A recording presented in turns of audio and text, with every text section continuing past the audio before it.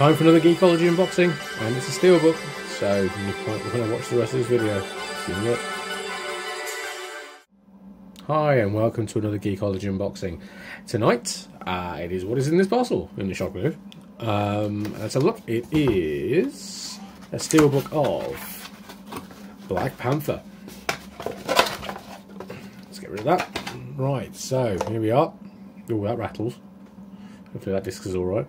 Um, okay, so there we go. I haven't seen the film yet in a shot move, like every other episode we've ever done. Still, um, there we go, all the way around. Quite cool. Let's get this open.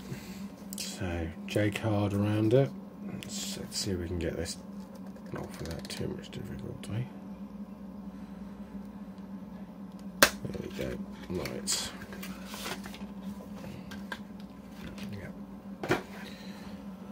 Okay, so nice silver effect. Silver metallic effect. Why why do you need a metallic effect on a steelbook? No idea. Um, nice to do art with that. Something a little different. Um, well, quite cool on the back as well. Shall we have a look inside? Let's have a look inside. Right, yep. 4K Blu-rays jumped off its space. Here we go. Right, so here we are. Quite a basic 4K steelbook by today's standards. So you've got one 4K disc, as you'd expect. One a normal Blu-ray, again as you'd expect. No digital copy.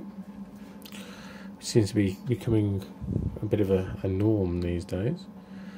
Um, I don't know whether that's because um, Marvel and us, Disney have some kind of agreement with i iTunes or something. I don't know. Um, but ultraviolet codes seem to have gone out of the window from Marvel product. So, but there we go. That's quite cool. Oh well, of course, we brought in some proper photos on, but there we go. Um, anyway, right. There we go. Hope you like that. And um, I'll be back again with another unboxing at some point soon. But here comes some photos so you can enjoy those in even higher resolution than the video.